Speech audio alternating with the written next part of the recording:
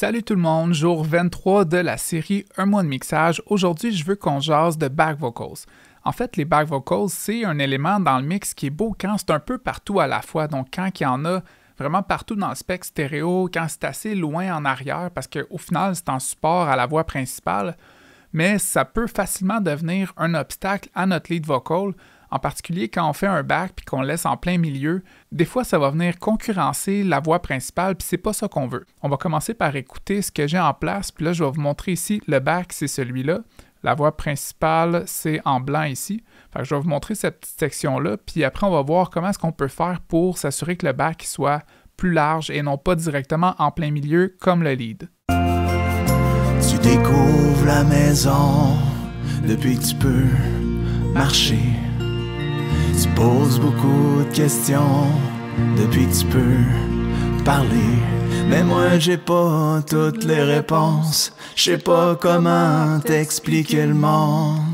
Fait que c'est cool, c'est des beaux back vocals, l'harmonie est super belle, mais le problème qu'on a, c'est que c'est deux voix en plein centre qui se concurrencent un petit peu l'une et l'autre, puis moi personnellement, je trouve ça plus beau quand que les back vocals sont plus larges que ça et non pas en plein milieu. Si vous avez écouté la vidéo sur la guitare acoustique quand je vous ai expliqué comment la faire sonner large, en fait, c'est exactement le même processus. Donc, ce qu'il faut faire, c'est pas à la phase du mix, c'est vraiment à la phase de l'enregistrement qu'il faut s'assurer d'avoir le même back vocals chanté deux fois. Pourquoi on le veut deux fois? C'est qu'on en veut un qui va être mis complètement à gauche, puis on veut l'autre qui va être complètement à droite. Là, ici, j'avais pris un des deux, je l'avais mis au centre, mais je vais vous montrer qu'est-ce que ça fait si on écoute la même section, la même partie, mais avec deux back vocals, donc un qui est à gauche puis un qui est à droite. Fait qu'on va réécouter ce que ça donne. Je vais le mettre aussi en solo pour qu'on entende bien la différence. Tu découvres la maison depuis que tu peux marcher. Tu poses beaucoup de questions depuis que tu peux parler. Mais moi j'ai pas toutes les réponses. Je sais pas comment t'expliquer le monde. C'est pas plus compliqué que ça. C'est pas un truc d'un effet de chorus, c'est pas un truc de mettre plein de reverb ou de jouer avec un EQ ou quoi que ce soit.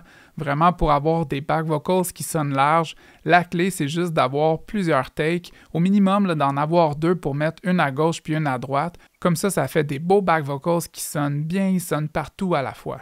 J'espère que vous avez apprécié le petit truc aujourd'hui. Je vais leur faire jouer une autre fois juste pour le fun. Là. Essayez vraiment d'écouter qu'est-ce que ça fait d'avoir les backs séparés comme ça dans le stéréo à gauche puis à droite. Puis nous, on se voit demain pour le prochain petit truc. Tu découvres la maison depuis que tu peux marcher. Tu poses beaucoup de questions depuis que tu peux Mais moi, j'ai pas toutes les réponses. Je sais pas comment t'expliquer le monde.